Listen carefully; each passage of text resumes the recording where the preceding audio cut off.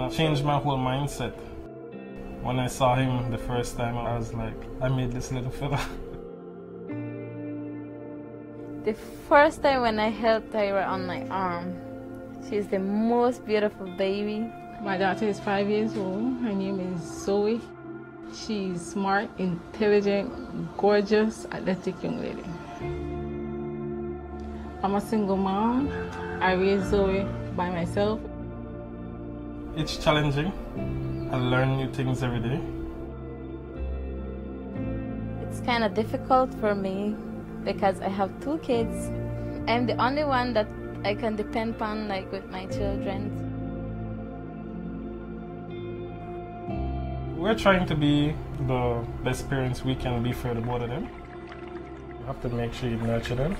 You give them as much attention as you can give them. You read for them. Even if you didn't get it when you were young, you give them as much love that you can give them.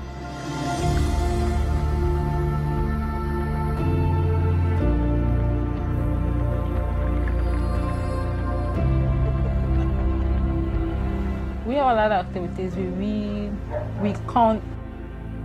She just wants to know that you're paying attention and you want to hear what she has to say. I want the best for my children. I want them to have everything that I didn't have.